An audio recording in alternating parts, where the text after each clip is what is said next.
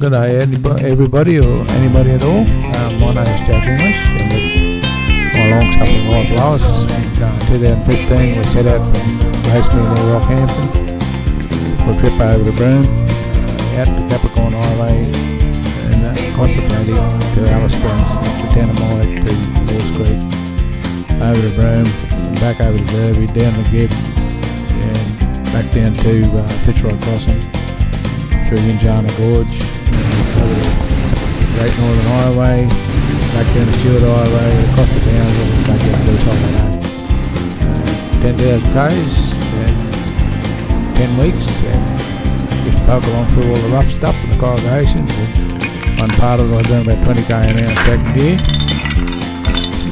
Poke along, nurse the gear, enjoy the ride, and we just had big mob of photos, so I put them all into to make a movie out of them, so I hope you enjoy it.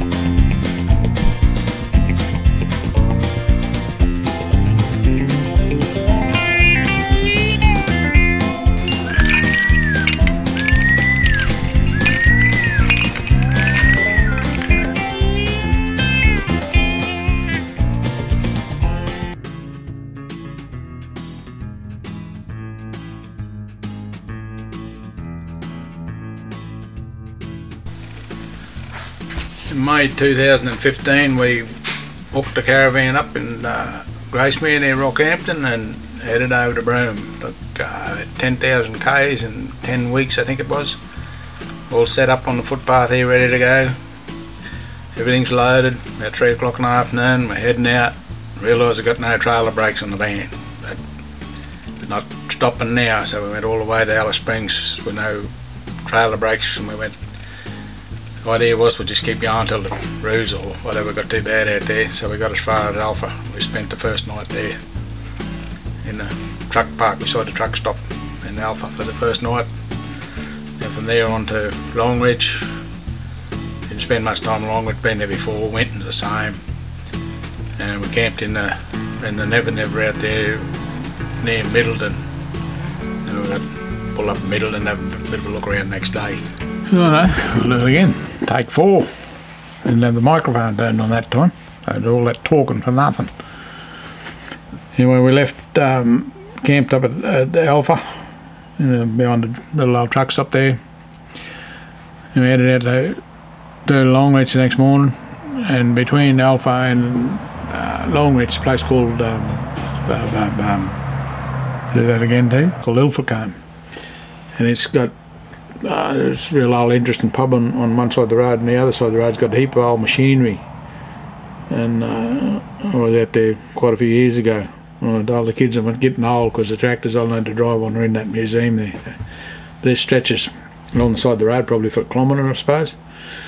And then when you get out of there you go out to, to Longreach it's roos like just dead roos fresh ones from last night in the bitumen and it goes all the way out across the paddock all the old bleach bones been there for years but they just probably every 50 metres there's a dead roof of varying stages of disrepair. You got the Qantas Museum and the Stockman's Hall of Fame in Longreach. Uh, we've been there seeing them, so we just kept going. Didn't pull up there too much, and I think. Might pull up for cuppa or something. And then Winton, uh, when I was out there years ago, she was a real old bloodbath. There's always blues and people lying around with blood running out of them. And people chasing other people with cars and all sorts of stuff. And, and I cleaned that all up. And I went and it's, it's a pretty nice place now where they got with that um, dinosaur museum. That's really interesting. There's some been some big lizards out there, and uh, yeah, that's that's really good the way they got they're doing that. Yeah, and they got a good truck stop uh, truck museum. Got an old Toots, if you know anything about trucks, you would have heard of Toots. They've got her truck out there in the museum. It's just a big open shed, this big shed, and it's just open. You just go and wander around yourself. And a musical fence, you know, got a fence tuned up like a guitar strings, but you just bang the stick on the on the fence, and you can play the fence. And, and then uh, once you leave out out there, we went out, head out to Boulia, and we camped on a, a big, a big red red gravel ridges and wide open spaces and and we camped out then a couple hundred metres off the road just camped in a scrub there that's really good really nice sunsets and whatever and then when you get off the, off the flat country around Longreach and Winton and that, the country's really flat. But you get out a little bit further, get into hilly country like the old cowboy country where John Wayne come from. And it's really nice. Like colours of the sky and the, and the actual terrain itself, the way the terrain changes, and then the colours in the ground change to the oranges and the reds and whatever and the yellows. And then she comes up in the skies and the blues, really nice colours. And the stars out there at night time just unreal. Uh, as any of them wide open places like that are, sunsets, you know, you can have some really gorgeous sunsets out there. And then the, when we between Winton, when you leave Winton on on the way to Boulia, all the way out there, Middleton's one of them. The actual coach stations where they used to have the, the change stations for the when they had the and Co coaches running out there. Apparently, it's taken four days, and I think it took me nearly as long. Caravan had to pull up all the time to take photos of them, but about every 26, 27 mile apart, and it's about 40 k. So the mail horses did about 40 k's a day, and they um, where they had all these stop stations things, used to keep the horses, you know, feed and water and that. And I don't know how they did that because everywhere these things were, I couldn't really see any enough water and that for that many horses and feed. And I don't know how they did it, but they obviously did. It ran for a fair while. And when you get out a little bit further, the, the actual Middleton Hotel, not the Middleton, the, the Min Min, where that Min Min Hotel was, it's just a gravel ridge and there's nothing there but little red gravel stones and a couple of piles of uh, smashed bottles, just like yeah, you know, mounds of, of broken bottles. But where they had the couple of stumps and things still there, but where they had the uh, the pub itself is a fair way from the water there too. So I don't know how they got on for water. But that's where the original Min Min Light started. Apparently that's where it's got its name from, the Min Min pub. So. But it's a very mysterious thing that's been around for years and years and years, for as long as anyone knows. And no one really knows what causes it, but they got a, when you get into Boulia, they got a um, museum thing dedicated to it there. They explain what they know about it, a few of the stories that go with it.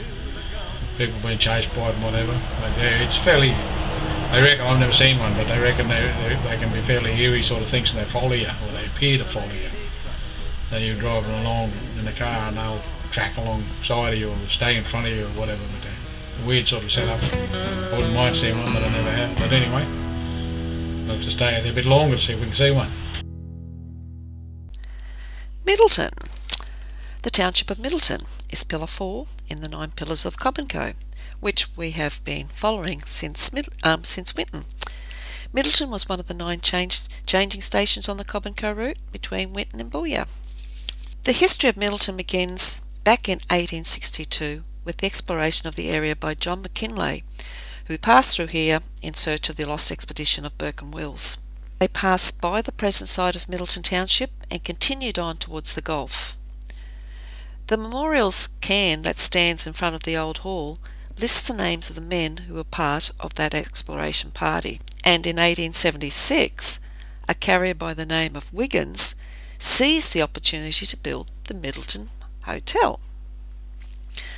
A township was eventually established and officially proclaimed on the 9th of May 1908.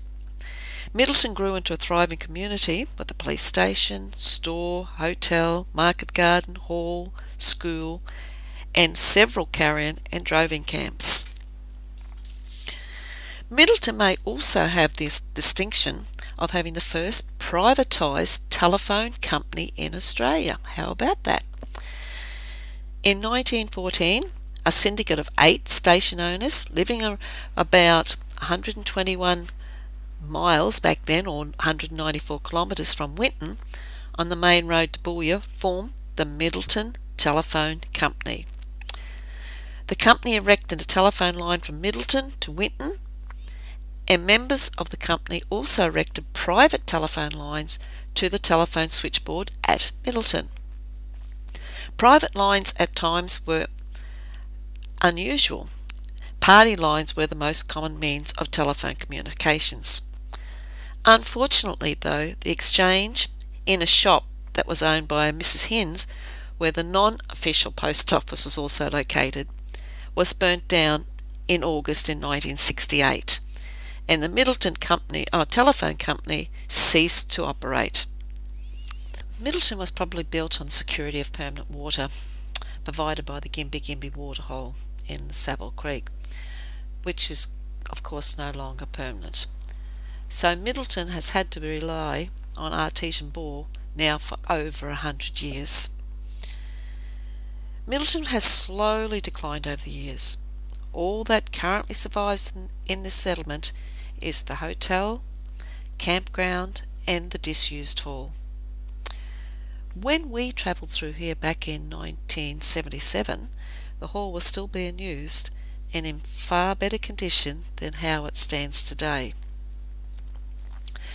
The Middleton Hotel. As previously mentioned, it was built in 1876 and was the first hotel to be built on the Winton Boulia Road and is the last man standing out of the eight original pubs that were built. It was, of course, built during the Cobb and Co era and was a change station where tired horses were replaced with fresh horses for the Cobb and Co coaches. With the mail service and being one of the earliest hotels, the Middleton Hotel was a central place to find out the latest goss, or both local and from far away. The Middleton Hotel now has the distinction of being one of the most isolated pubs in Queensland and the only changing station left on the Winton to Boulia mail route.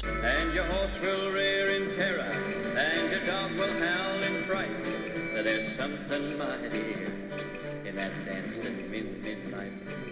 Dancing min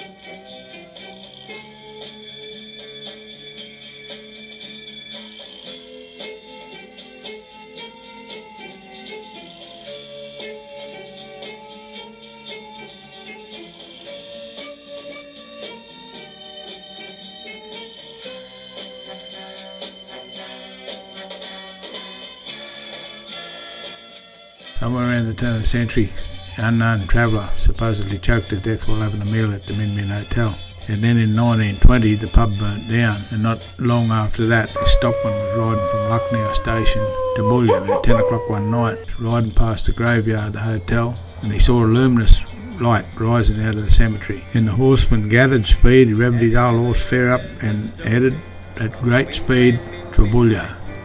When he turned around in the saddle, he saw the light was still following him. He described the light as being bouncing through the air like being kicked like a football.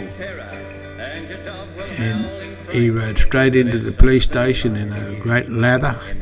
And after a lot of coaxing from the police, he told his terrifying encounter with this mysterious light.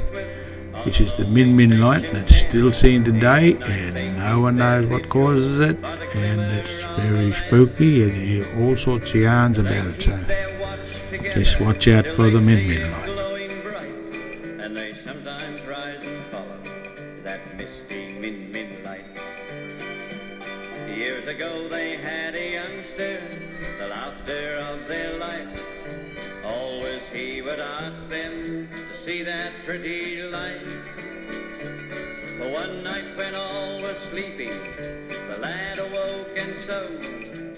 Looking out the window, he saw that min min glow. It seemed that he could touch it, then it moved up far ahead. After you go past the Min Min Hotel, you've got the uh, Hamilton Hotel. It's about 80 k's out of Boulia, and she was one of the main staging posts. And it was opened in 1897 and burnt down somewhere in the 1900s. And the stone chimney's still standing there, with, all build out of petrified wood. So it's a pretty good spot there. You can still camp there. Uh, you've got the manatee block there and rainwater tank. Uh, we just pulled up and let these couple of large lorries go past. Been about five of them, I think it was. All triple road trains heading east, and road trains and caravans don't mix, so we'll have a cup of tea and let them go.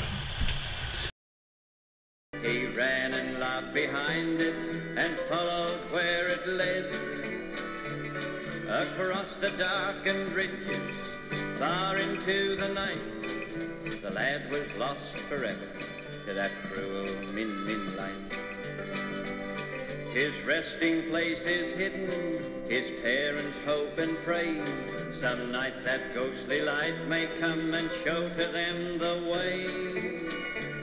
But it quivers and it dances through the cold and lonely night, and forever keeps its secret, that cruel min min light.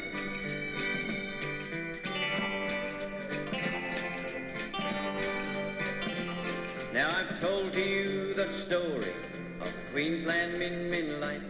How the old folk tell in whispers how it beckons through the night. And your horse will rear in terror, and your dog will howl in fright. There's something, mighty in that dancing min min light.